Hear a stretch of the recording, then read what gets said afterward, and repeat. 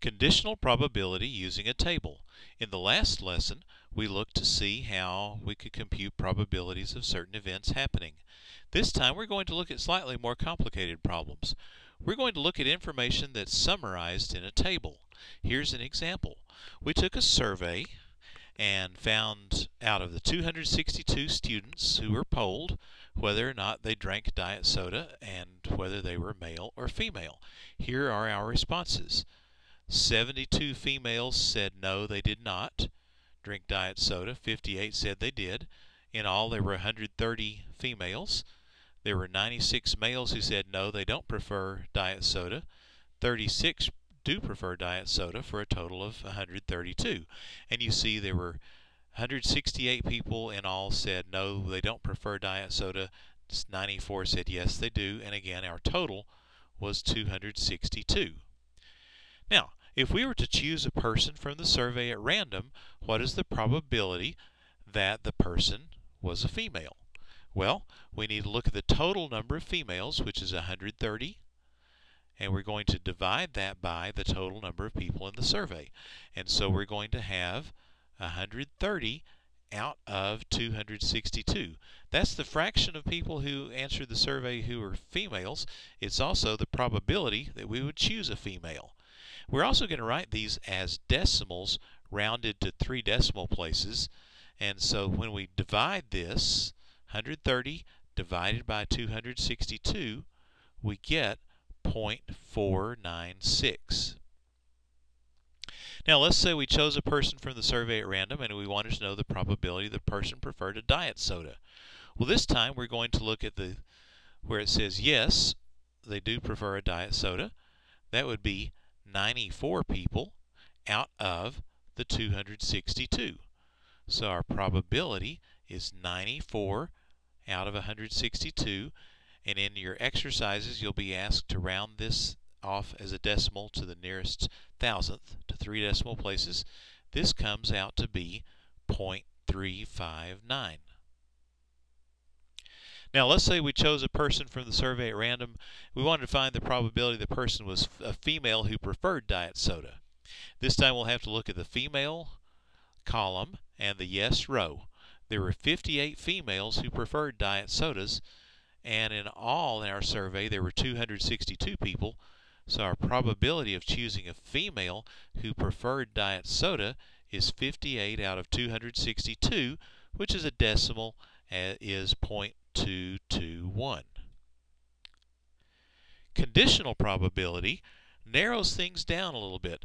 This is a definition that you will see in your statistics class, but we just wanted to flash it on the screen here for you just a minute. We won't use this notation, but this thing here is read the probability of B given A.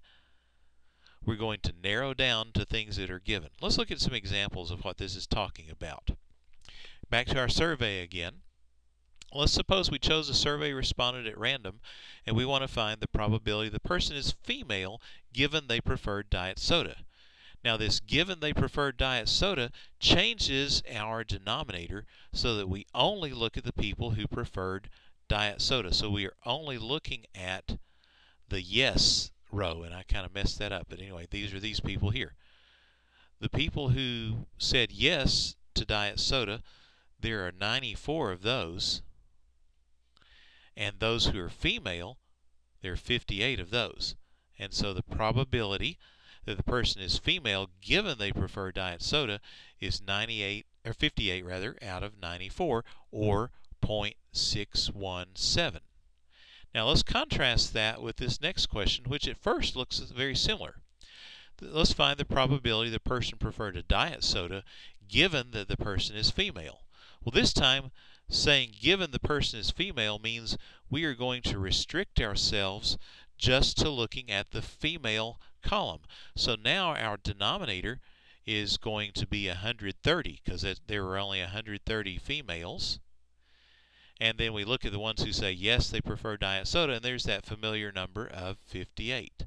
So the probability that a person preferred diet soda given the person is female is 58 out of 130 which is 0.446.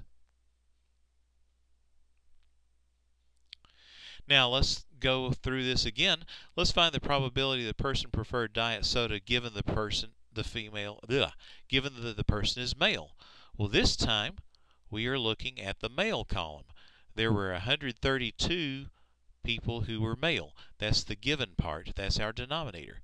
Out of those 132, the ones who preferred diet soda, those were 36 of them. So the probability that a person from the survey chosen at random is someone who prefers diet soda given that the person is male is 36 out of 132 or as a decimal that's 0.273. Finally, let's look at this question. Let's find the probability the person did not prefer diet soda given that the person is male. So again, we're going to need to look at the male the, the male list there, the male column, there were 132 males, and out of those 132 males, there were 96 who did not prefer diet soda. So our probability of getting a male who does not prefer diet soda, given the person's male, is 96 out of 132, or as a decimal, that is 0.727. Now, if you need more examples like this, look for the longer version of this lecture.